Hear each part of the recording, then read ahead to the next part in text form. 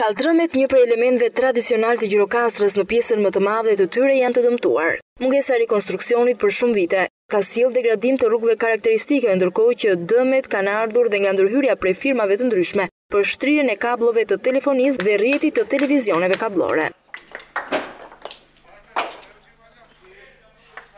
Banorët e qytetit të gurtë e ndjejnë mungesën e mjeshtrave gurgdhendës. Sipas tyre, mjeshtria e ndërtimit të kalldrëmeve karakteristike është zhdukur dhe rehabilitimet që bëhen nuk do të kenë jetëgjatësi.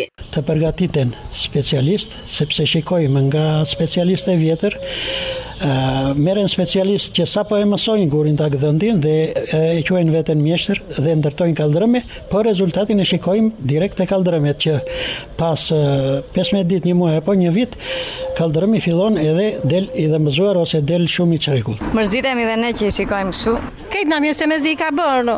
Duhet rregulluar. Shumë vënde është dëmtuar dhe s'është vënë dorë.